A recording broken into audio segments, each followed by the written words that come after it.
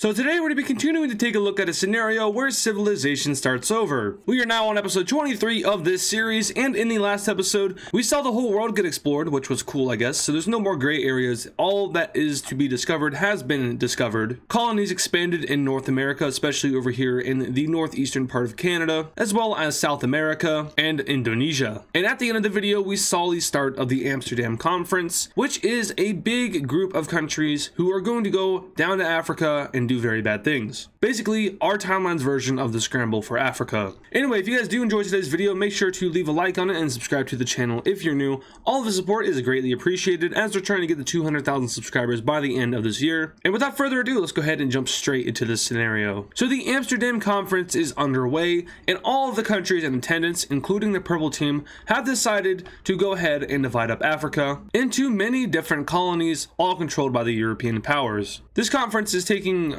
place like 100 years before it happened in real life, but the Industrial Revolution kicked off a lot earlier than it did in real life as well, so these countries are a lot more advanced compared to the countries which were around in our timeline around this time. So how does the Amsterdam Conference play out? Well, all European countries also agree with the Northern African Union right here that they will leave them alone and not colonize them because they are a top power. They've had really no issues with Europe other than like the purple team, so but everyone else is fair play. So countries will start to make their claim. The first country to submit their claim is actually going to be the purple team. If you remember, they were pretty indecisive about this, but as time went on, they did decide to join in. They set their claim over here and this dark purple country, wanting to take over this greater northern Mediterranean area of Africa. The next country to submit a claim is actually the northern Italian country, and this is where the trouble is already going to start to begin.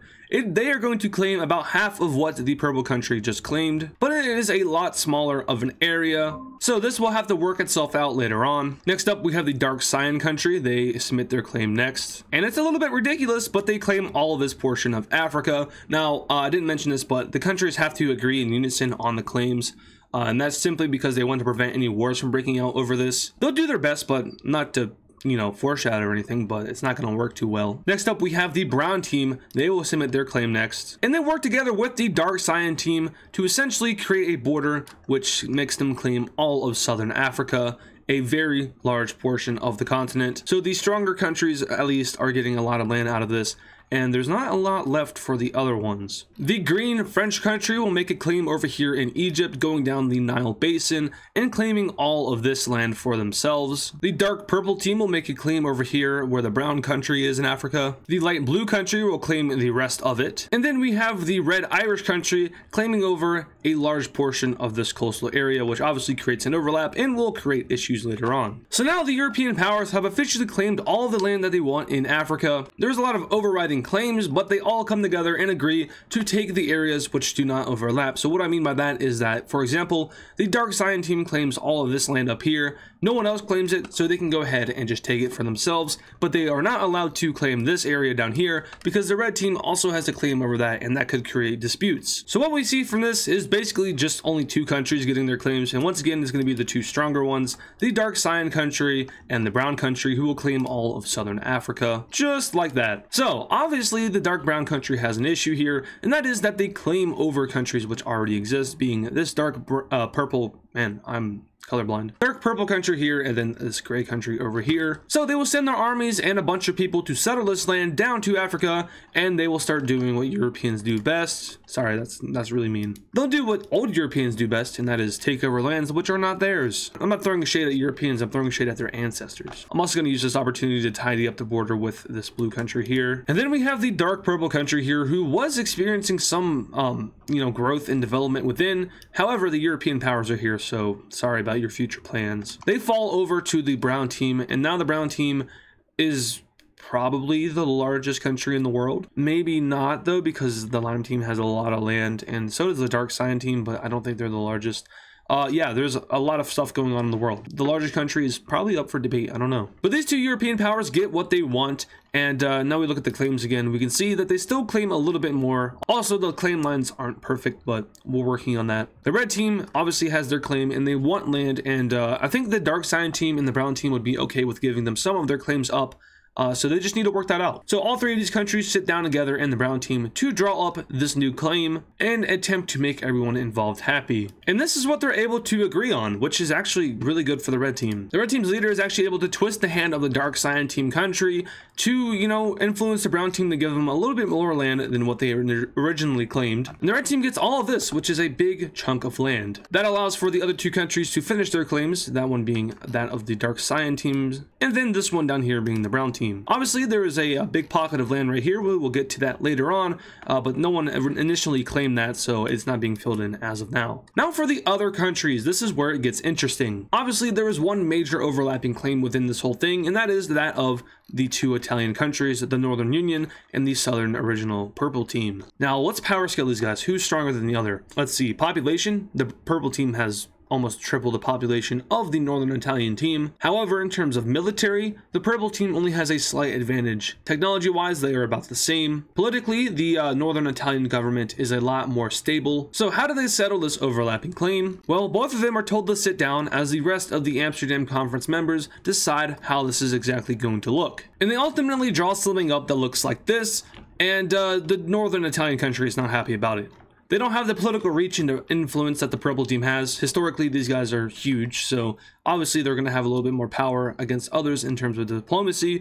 And uh, the Northern Italian country is left with a very tiny claim and they are not happy about it. But for now, they're not going to complain about it. Instead, they'll go through with the invasion. In fact, they even go through with a joint invasion with the Purple Team. The two countries at this point are not liking of each other. In fact, their relations have turned pretty hostile, but they are essentially forced to invade this country together because of their claims. So Purple Team troops will make a landing on the north of this dark purple country, who I think at one point was, was definitely a part of the red team. It might have been a part of the purple team, but I, I don't really remember. Also on the topic of the purple team, uh, you guys made a good point in the last video. I said that there really was no Rome in this uh, series, and you guys pointed out that the purple team was essentially Rome, and that I even said that it was kind of Rome.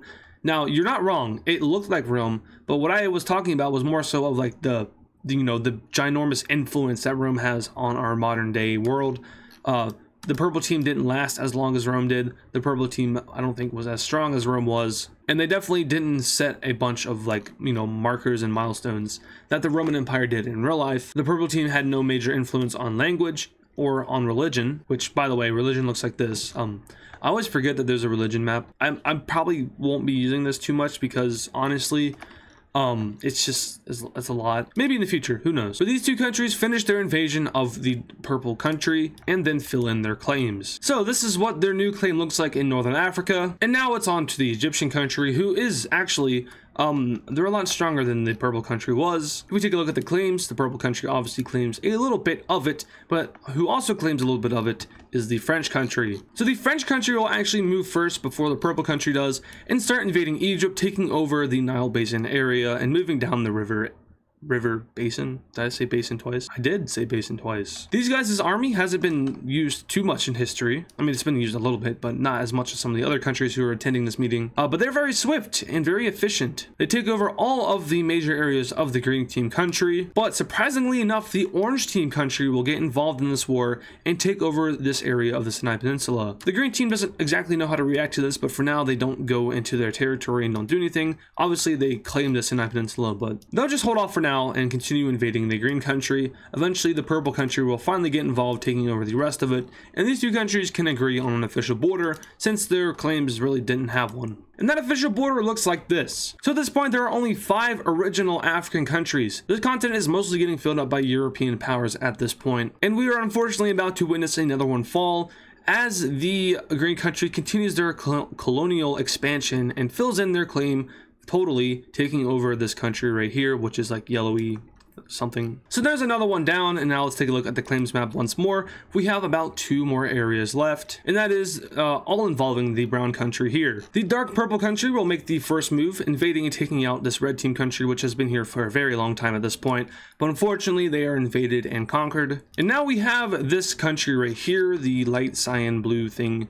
uh, they will start to invade the brown team country right next to where the, uh, the, these guys were. And they will mostly focus in on the populated areas taking over major cities and moving towards the interior of the country taking yet another major city. They then start to move around but start to suffer a lot of casualties and their resource supplies start to run very low as the brown team puts up a fairly good resistance towards the European invaders. Now this doesn't necessarily stop the uh, light cyan country from still getting a lot of land. In fact, they get a majority of their country. However, the brown team is able to hold out on their coastal area and the light cyan team is forced to make a peace treaty with them, stopping any further aggression into their territory. Now just before that peace treaty is signed, the uh, dark purple team will go ahead and take the rest of their claimed area. And now we can take a look at a peace treaty with an African nation instead of just full annexation and conquering. So in that peace treaty, this is what Africa is left looking like.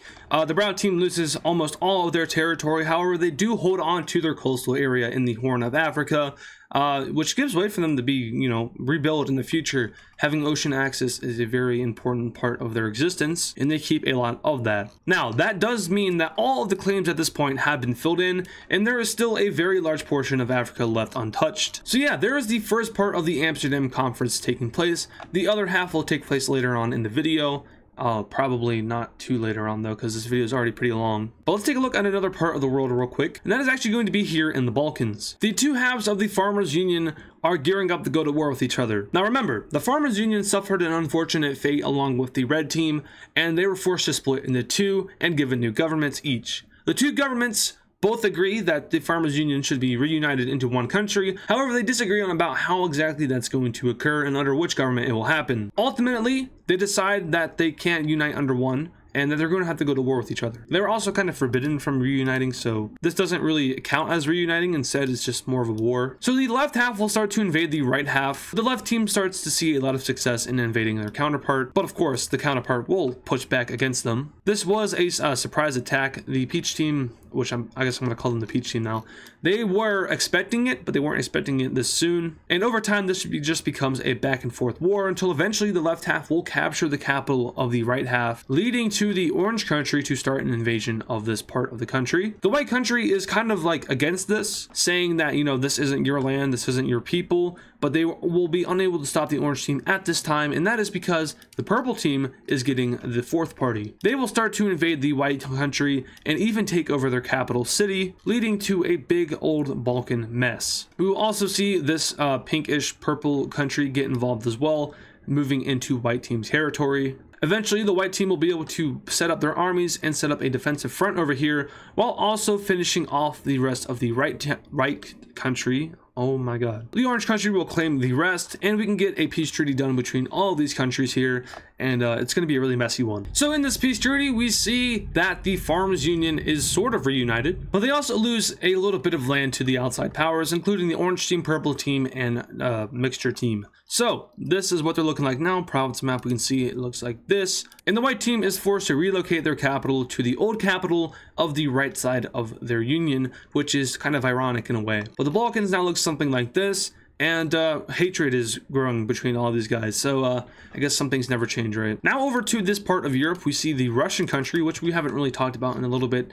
They will continue to expand their growing country, now reaching over to the midway point of Asia. They're still doing their old strategy, however, uh, movement to their country has you know, drastically dropped. There's not a lot of people moving there anymore, which makes it a lot harder for them to continue to expand their large country as they are right now. But for now, I think this is the extent to which they will expand to, and we're not going to make them any bigger in the future. Now we go over to the Lime team. They will continue to colonize Oceania, taking more and more of these islands for themselves and reaching over to Papua New Guinea, or the island of New Guinea. But now we have an interesting plot event happening, and that is that a couple of Lime team sailors who are out exploring the various Caribbean islands get lost at sea in the middle of the Pacific Ocean. Now, if you're going to be lost at sea in an ocean, you definitely don't want to be in the Pacific Ocean because that thing is huge. But these sailors make their way all the way around, landing on various islands and using their resources to survive. Eventually, the currents push them all the way over to South America, where they make a landing in northern Chile. Now, as far as they know, this is a brand new continent.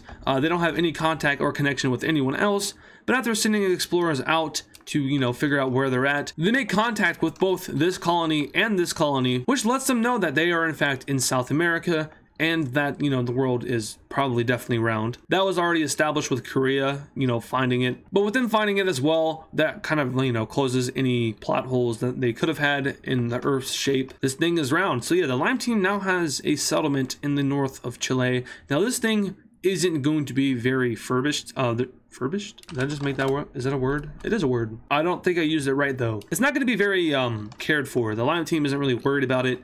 Uh, there's a few hundred people here at this point. They sent some more people over to kind of you know make it an official thing.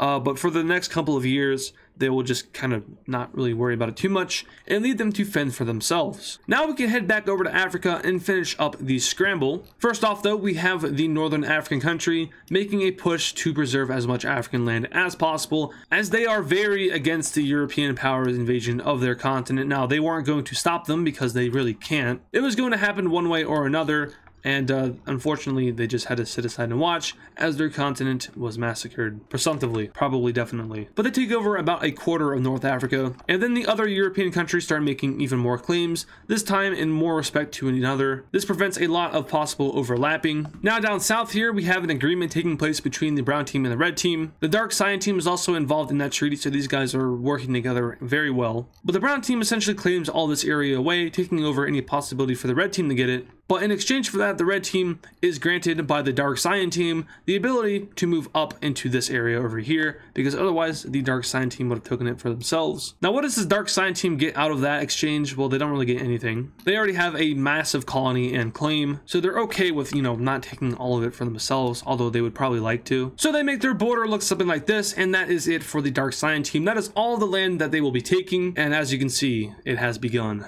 The uh, straight line issue has begun. They also overlap with the claim of this green country here, which could lead to some issues in the future. Uh, but for now, they're not really too worried about it. They just overlap their claims. The northern Italian country finishes up their claim, and now all that is left is this part of Africa over here. Now, before the Europeans can get to it, this country down here, which just got its independence in the last episode, will make a move for themselves preserving any land that they wanted to get in the future as the Europeans take the surrounding lands for themselves. So in the end, Africa ends up looking like this, completely divided up, but now finally completely filled in. Now, one thing that's worth talking about is that this country was never invaded, and that's because the, the European powers were afraid that the Lime team might have come to the help of them should they have been uh, invaded. The Lime team probably would not have since they just gave them up and weren't really worried about them leaving and you know declaring their own independence. Uh, but they didn't really want to take that risk, so these guys are allowed to remain alive. The brown team will now go over to Madagascar and start colonizing a portion of it. And the lime team is like, whoa, why are you doing that? And, uh, well, a phrase I've been using a lot recently, you snooze, you lose. Africa is now completely filled in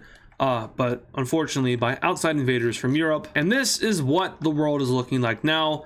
A lot different and a lot more filled in, and we are getting very close to completely filling in this world map. Now, I know that uh, the world, when the scramble for Africa happened, the world was a lot more filled in than it is here. Uh, it happened in the late 1800s, and uh, you know, America was as a country was a lot more established. They were, you know, dealing with their post Civil War stuff, but they were still very large.